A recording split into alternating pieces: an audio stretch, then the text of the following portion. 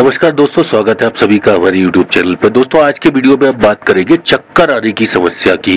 गर्मियों के मौसम में ये एक बहुत भयंकर समस्या है। अक्सर लोगों को गर्मी की वजह से चक्कर इस मौसम में आ जाते हैं। तो इसके लिए मैं आपको एक ज़बरदस्त उपाय बताऊँगा आज। यकीन मानिए, इसके प्रयोग से कितनी ही भयंकर गर्मी में आप रहे आपको चक्कर नहीं आएँगे। ये गारंटेड इलाज है, ज़रूर करके इसका एक बार कर, इस्तेमाल करके देखें। तो चलिए शुरू करते हैं आज का वीडियो। जो भी मित्र आज पहली बार हमारे चैनल पर आए हैं, उन सभी से निवेदन करना चाहूँगा। दोस्तों, आप यहाँ पर एक लाल बटन देख रहे हैं, जिस पर लिखा हुआ है, सदस्यता ले। इस बटन को दबा करके आप हमारी सदस्यता ज़रूर ले लीजिए, ताकि आप हमसे जुड़े रहे, हमारे वीडियो रोज देख पाए और उनसे फ़ायदा भी उठा पाए।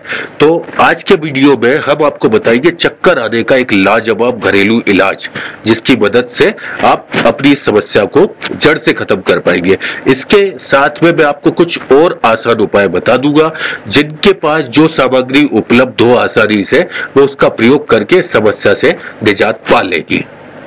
सबसे पहले चक्कर आने के लिए तुलसी के पत्तों का रस। पाँच बूंद आपको चाहिए होगा। एक चम्मच चीनी आधा कप पानी में मिला करके सेवन करने से लू के मौसम में चलने वाली गर्म हवा भी नहीं लगती और चक्कर भी नहीं आते। इसका दिन में आप दो तीन बार ज़रूर सेवन करें। साथ ही ये जो नुस्खे हैं ये अजमाए हुए हज़ारों वर्षों से हमारे परिवार में इनका उपयोग होता हुआ आया है, और सभी नुस्खे पूरी तरीके से फ़ायदेमंद है कारगर है। और इसके अलावा तुलसी का रस थोड़ा सा लेना है, अदरक का रस लेना है थोड़ा सा और शहद। दोनों को मिला करके यदि आप दिन में दो बार पी लेते हैं, कितने ही तेज चक्कर हो वो आने बंद हो जाएँगे। इसके अलावा एक और साधारण घरेलू नुस्खा है, चीनी और सूखा दरिया दो दो चम्मच दोनों को मिला लें और मिलाकर चबा लें। चबाने से चक्कर आना तत्काल बंद हो जाता है। एक कप गर्म पानी में दो चम्मच नींबू का रस मिलाकर पीने से भी चक्कर आने की समस्या में बहुत ज़्यादा फ़ायदा मिलता है। काली मिर्च चबाने से भी चक्कर नहीं आते हैं। ऐसे बहुत सारे घरेलू नुस्खे हैं जो हमारे दादी दादी अक्सर इस्तेमाल करती थी। उन्हीं में से कुछ ऐसे नुस्खे मैं आपको बता रहा हूँ जो बहुत ज़्यादा कारगर है। जैसे कि लोग, दो लोग को एक कप पानी में उबाल कर पीने से चक्कर नहीं आते। आ भी रहे हो तो भी आना बंद हो जाते हैं। छोटी इलायची के काढ़े को गुड़ में मिलाकर सुबह शाम पीने से चक्कर आना तुरंत बंद हो जाता है। गर्मी के कारण यदि आपको चक्कर आते हो, जीभ इसलाता हो, उल्टी वगैरह होती है तो आंवले का शरबत पीजिए। हर बहरा आंवला जो होता है, उसमें आंवले का शरबत आप पीजिए, तत्काल आपको आराम मिलेगा। चार पाँच मुदक के पानी में बदकर पीने से भी चक्कर आना बंद हो जाता है।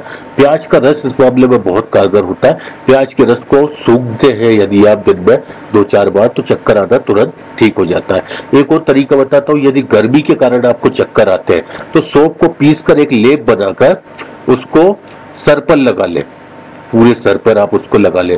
तो गर्मी से जो आने वाले चक्कर होते हैं, वो पूरी तरीके से इससे बंद हो जाते हैं। यदि आप इनमें से कुछ भी नहीं कर पाए तो एक बहुत सरल नुस्खा मैं आपको बताऊँगा। खसखस। खसखस का शरबत आपको चाहिए होगा और बहुत सारी कंपनियाँ बनाती है, हल्दीराम वगैरह, गुरुजी, और भी कई कंपनियाँ हैं, और आंवले का शरबत। इन दोनों को सुबह एक एक एक गिलास के अंदर दोनों को मिक्स कर ले, और मिक्स करके रोज सुबह एक गिलास आप पी लीजिए। आपकी कितनी ही पुरानी और जटिल समस्या हो चक्कर आने की, इसका सेवन मात्र एक महीने करने से आपकी ये समस्या पूरी तरीके से खत्म हो जाएगी। दोस्तों, आजमाया हुआ नुस्खा है, ज़रूर इसका उपयोग करें। साथ ही इस वीडियो को लाइक करना बिल्कुल ना भूलें और अच्छा नहीं लगा हो तो डिसलाइक भी ज़रूर करें।